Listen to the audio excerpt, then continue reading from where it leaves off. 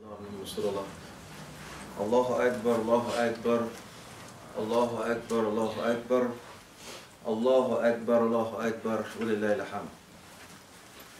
أعوذ بالله من الشيطان الرجيم.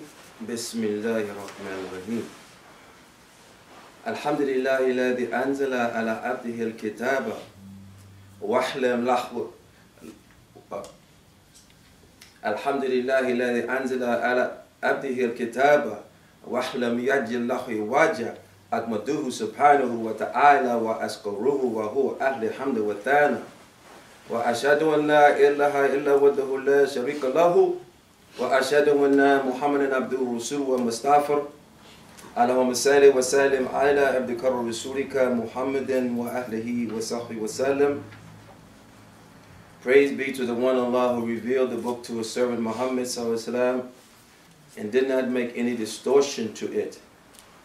I praise him, Allah, the exalted one, the high, and I thank him. It is he who deserves the praise and gratitude. I bear witness that there is no God but Allah, the one who has no partner, and I bear witness that Muhammad is the servant of Allah, his messenger who was chosen by Allah. O Allah, let your blessings and your peace be upon your servant and your messenger Muhammad and on his family and companions. Alhamdulillah bil alameen. Our ardent prayer is that every time we awaken, we become more enlightened. Because tomorrow is not promised to anyone. And we pray that we get it. Babies in the womb, babies outside of the womb, uh, pre-teeners, uh, up to a certain age, we're still innocent. If we leave, we don't have enough sins to count for that much. But the older we get, the older we get. See, getting old is not always you live and you get wisdom by living. So there's some dumb, stupid old people. And if you're living and you keep living and you're not getting wiser, just if you and the wisdom is coming from living, that's not the key. Wisdom comes from Allah Almighty. Allah may give wisdom anytime. He gives it to any any any time. What we have to realize is that when we are born,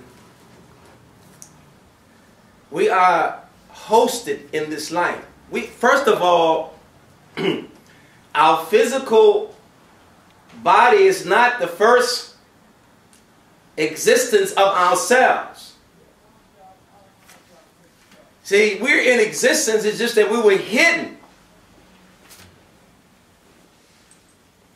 Allah says, I'm a hidden treasure. I wanted myself to be known, so I created creation.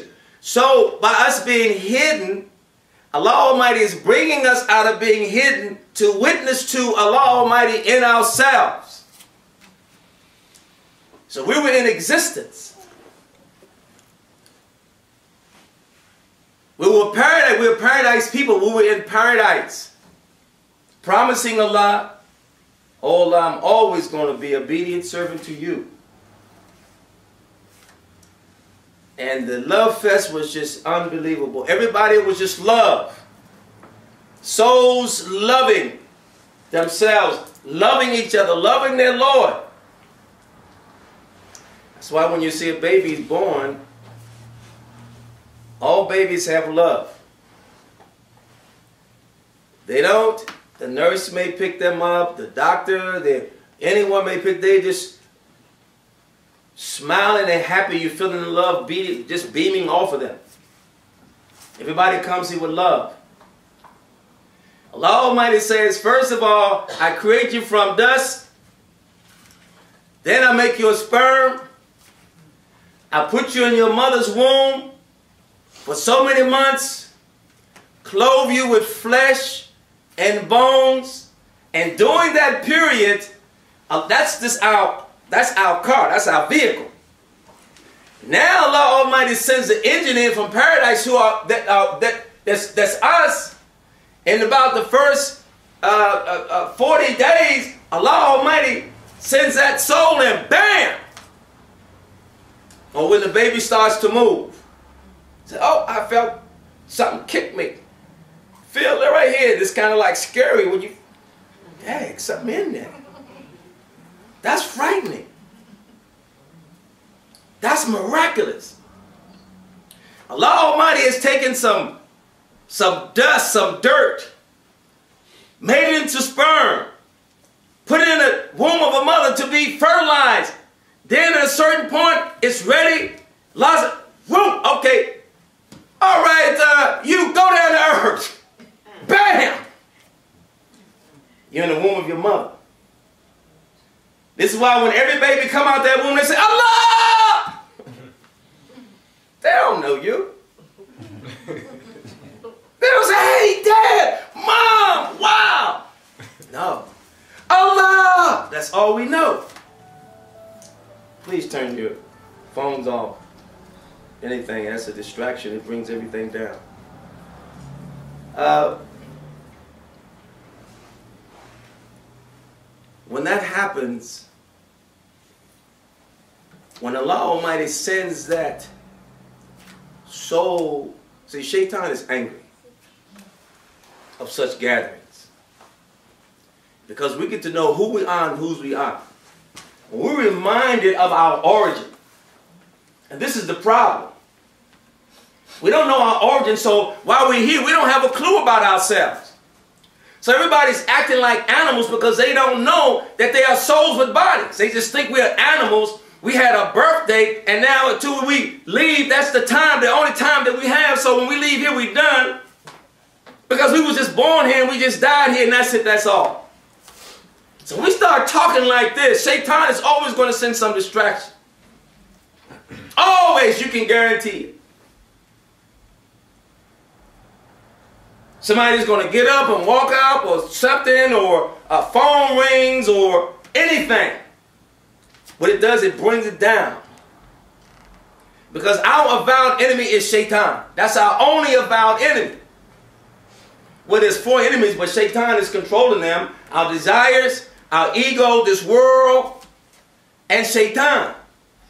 And Allah warned us against Shaitan because Shaitan, Azazel, never accepted to bow down to Adam because he saw Allah Almighty showed the magnificence of what he was doing. They was like, what is Allah doing? And they saw Allah Almighty work his ability. Then he blew in his spirit into Adam, the same spirit that comes in our we same thing happens with us. Allah blows his spirit in us. Same thing. Just in the womb. He was in paradise. So Adam has been, uh, so, so Satan, Azazel has been unhappy about that ever since.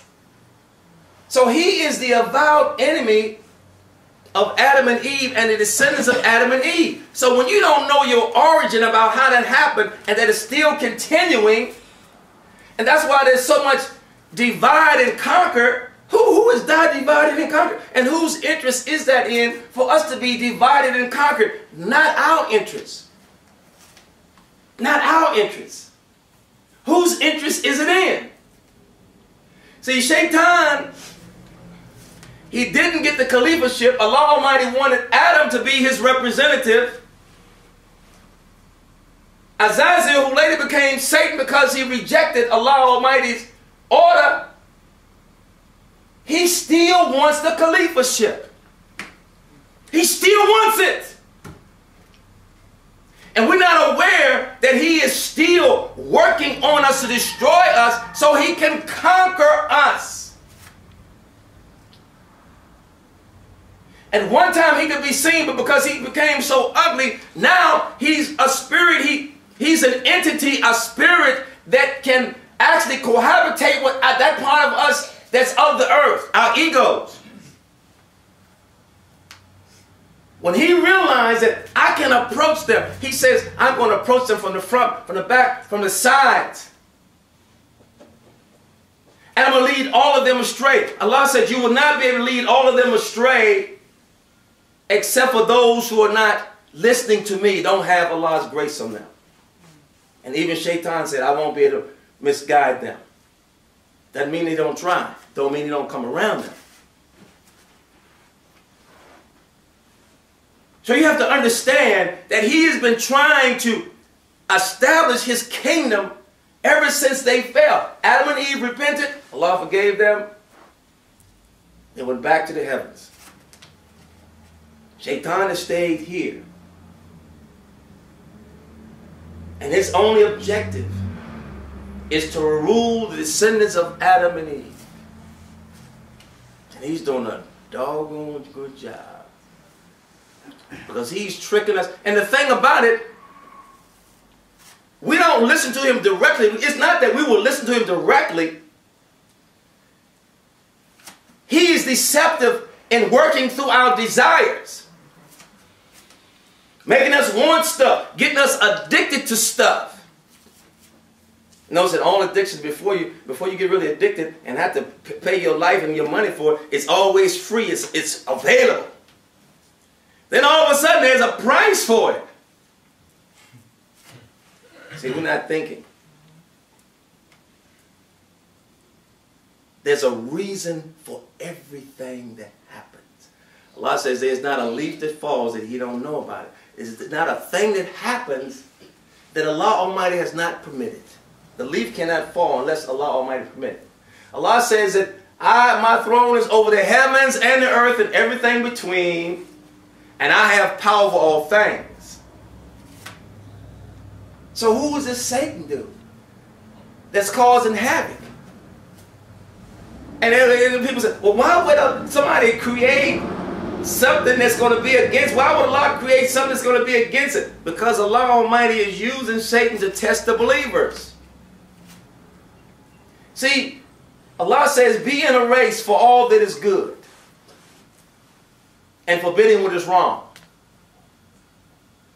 Those who compete for goodness, Allah, they show out and show out their Lord's goodness, his, his love. And that love is everything. It is everything. That love is the wisdom. That love is the power. That love is the favors. That love is the mercy. That love is the beauty. There's nothing more beautiful than Allah. There's no one more gracious than Allah. There's no one more merciful than Allah Almighty. There's no one more powerful than Allah Almighty. He wants us to know that. But He shows us through ourselves. That's why Isa ibn Maryam said, Fight everything that is not of you to reach to the kingdom of heaven within yourself and all things be given it. He says, seek that love. When you seek that love, that divine love, that real love, that is really the essence of you, then that love is transforming. That love transform you. When we leave, when we lose that, we fall into a lust. Allah Almighty destroyed Sodom and Gomorrah because they lost their love. They started to lust. There was no love for one another, genuine love, in an innocent way. It became lustful and defiled. And it had to be destroyed. When the people of Noah started to lose their love and they started to lust off power and all kinds of abominations, they lost their love and Allah Almighty had to destroy them. Allah protected the few that kept their love. See, Allah Almighty is love. There's nothing greater than love. Nothing is greater than love. Love conquers all. Love makes the world go round. Love is everything. Love is what was used when Moses went to that, that, that, that, the Red Sea. And everything loves Allah Almighty. Everything in creation is a remembrance of Allah Almighty. All the elements and all the atoms and all the molecules. And they love their Creator. They all have their mode of worship, whether you understand it or not. And they all love Allah. when Moses came to that ocean with his love of his Lord, that they loved, they obeyed him. Love obeys love. Love seeks out itself. Love only loves love. We don't get it. So we lose, fall from the state of love, we fall into the state now of lust. What happened to Pharaoh? He didn't rule by love, he ruled by lust. He had a power that gave his ego a feeling that he was God on earth. He wasn't a just ruler. He ruled with a harsh hand.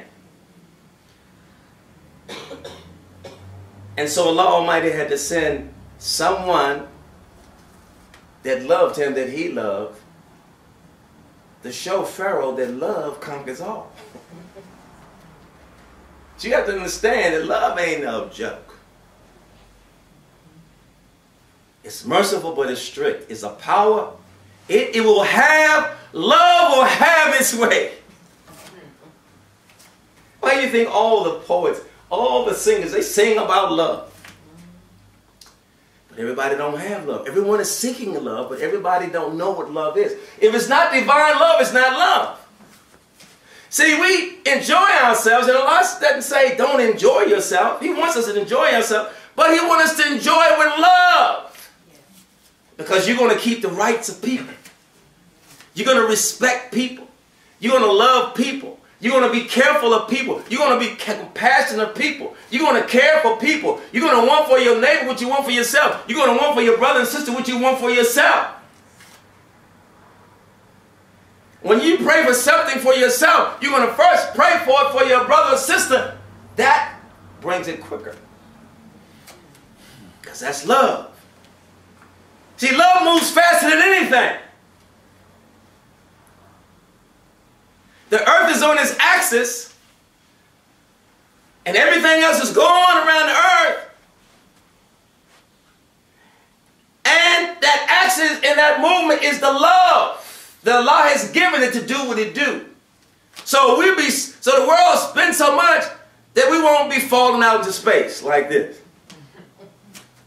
We can walk around and jump up and down and come back down because it's spinning on its axis. So that is that love. That's God's love. This is, this is a condition I want for those whom I'm sending there to know about me. I want everything to be right for them. Allah Almighty invited us here. And that's who deserves our love. Because that's who loves us. Shaitan don't love us. He don't love us. He's the artist. He wants us to be miserable. Because he's miserable. Why? You know why he's miserable? Because Allah Almighty ain't giving him no love. and so he's working so hard to prove to Allah, Allah, they don't deserve your love. Watch what I do to them. Watch what I am able to tempt them to do.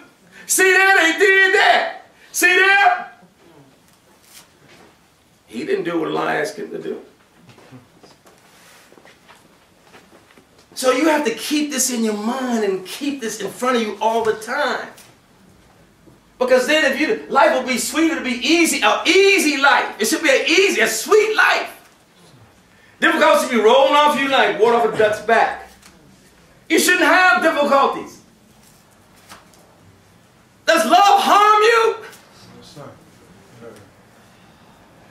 When you have love, you have everything. You when you have love. When we were in paradise and that love was just flowing, we didn't have to work for it. We ain't had nobody testing us and trying to take our love. It was, oh, Allah, I love you.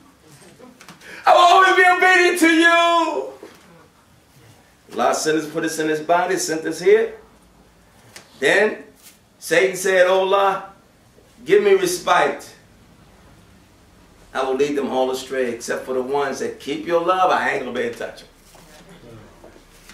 I don't have no power over nobody. I just whisper. Now, if they lusted, I got some lust for them. If they liking something they not supposed to be like, I'm to whisper, I'm to come on them and hot days, and I'm to have them vibrate, salivate. Oh, I got to have that. But what about Allah? Oh, forget about Allah. What about your wife? Oh, forget about, what about you? Forget about, forget about my children. Forget about me. I want that. Can't nobody help us. See, the only way to get rid of any addiction is not taking some pills to, to overlap, to get to stop you, or some therapy sessions in your mentality. You got to repent to Allah Almighty and say, Allah, please take this off. You got to get that repentance with sincerity and love. Oh, Allah, please help me. Ain't nobody doing that. See, when Dawood salam, when he sinned against his soul, may Allah be pleased with him. That's our brother, and we love him. He loves us. But his story is a lesson to us. To study what he did so we won't fall into the same pitfalls that he fell into. He lusted after one of his soldiers' wife. And he wanted that woman, and he sent the soldier on the front line to be killed so he could get the woman. Now, he had 99 women.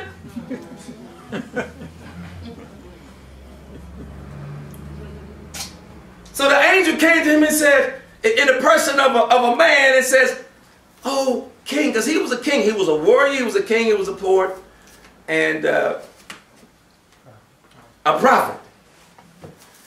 And he came to him and says, Oh, sir, oh, king, oh, righteous king, I want to plead to you. I have 99, I, I have one cow and some, uh, my neighbor has uh, uh, 99 and he wants mine. And they, oh, what's an unjust person? He's greedy. Then it came to him. That's your story, pal. He went into Jude on his face crying for 40 days. The skin just burned off his forehead from crying so much. Grass grew up around his head everywhere. 40 days, but he repented sincerely. He says, Oh, my Lord, please forgive me. Please forgive me.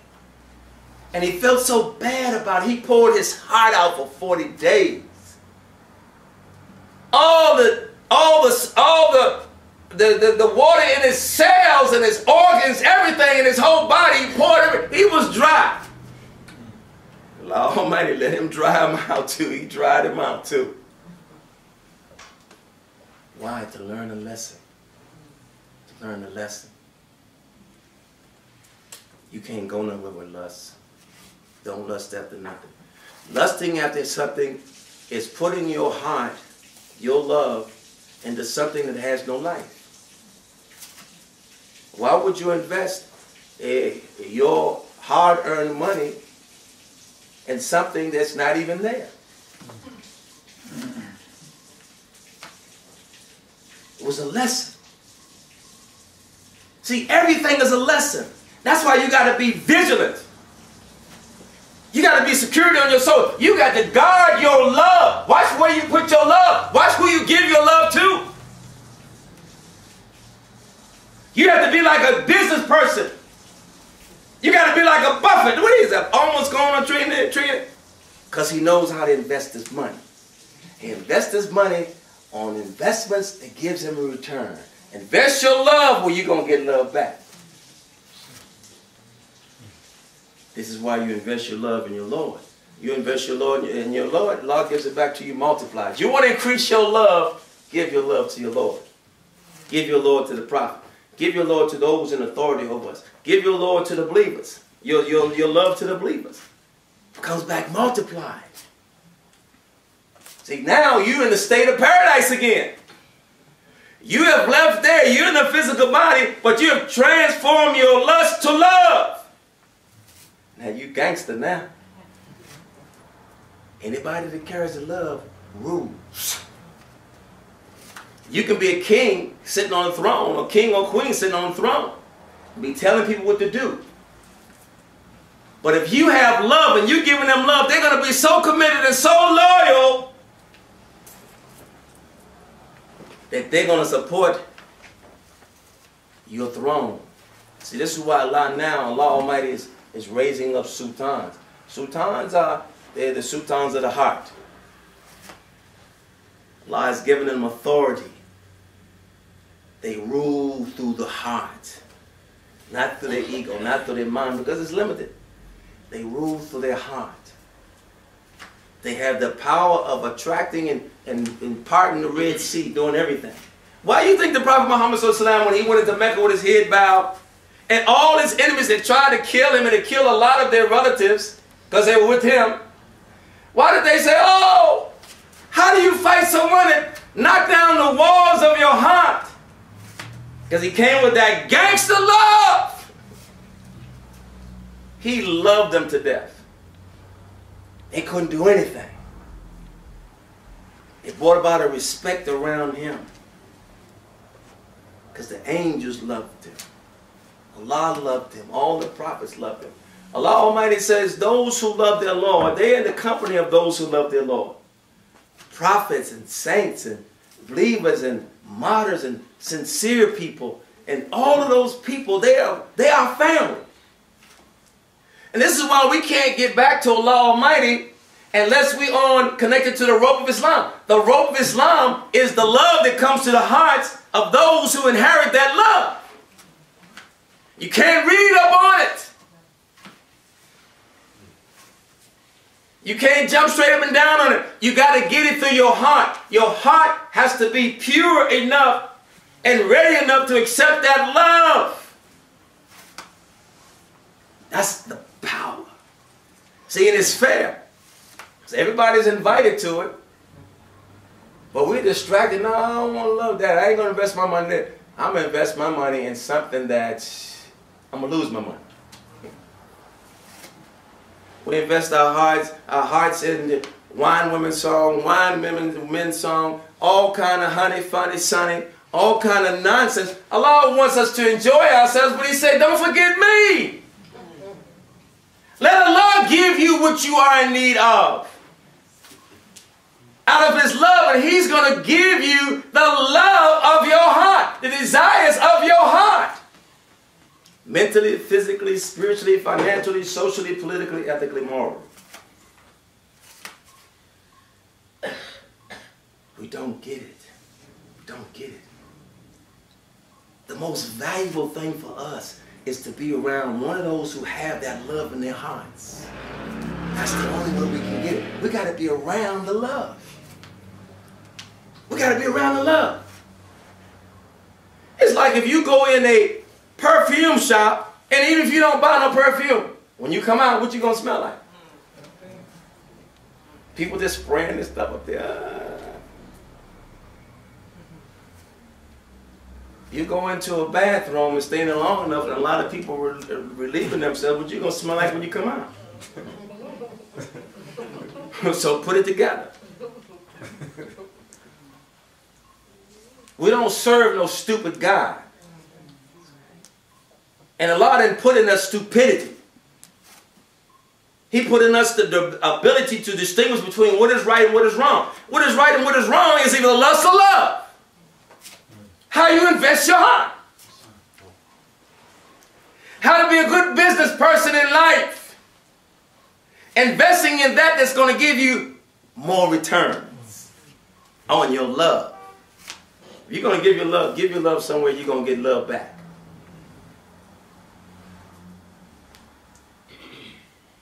And we've missed that. That's why Allah Almighty now is raising up his lovers. They love, they love, they're lovers. You think you was a lover out, out there? Mm -mm. Those ain't lovers. Those are lusters. We talking about lovers. See, Jesus Christ was one of those lovers. May Allah be pleased with him. And Allah loved him. And when all of his disciples, they left him for dead, said, now I don't know him, and he was captured, do you think that somebody you love, you would put on a cross and have them tortured? When you had the ability, you loved them, and you had the ability for them not to be tortured, would you torture them? No way. Allah loved him. Allah put a likeness of him on the cross in the person of Judas, who had stabbed him in the back. Judas was, was one saying, Why have thou forsaken me? You forsook yourself. That wasn't Jesus Christ. Allah Almighty said, I took him to myself. That's why he coming back, y'all. Coming back. He coming back. A message to the wise is efficient. He coming back. Spiritually, he's already back. He's speaking through the tongues of those who connected to his heart. Beware, be ready. He never attributed that he was God or the Son of God. He said Allah did everything by your leave. And if he was God, why would he say you will do far greater things than me? So you're going to be a greater God than God? Let's go back and play the text back. Let's go back and play the tape back. Let's look at it again. Say you will do far greater things than me. So I want to challenge those preachers out there, especially my buddies on Preachers of LA. Let me come on and let's do a preacher teaching shout out. And whoever wins get all the people.